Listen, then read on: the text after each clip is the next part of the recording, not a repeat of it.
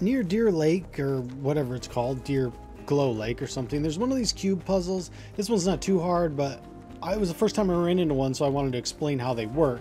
Basically, you got to hit them in the direction that the arrows are pointing. So we're going to hit this one from the back, boop, and then you're going to use the terminal here to remove the walls. Generally, so far at least, the walls only shift to one other spot and then they'll shift back. Obviously, your main objective here is to get it to the blue thing. So I go back, hit this. More. Hmm, that, and then of course you go hit the terminal again. And once you're done with that, hit the box this way. The chest will open, and there you go.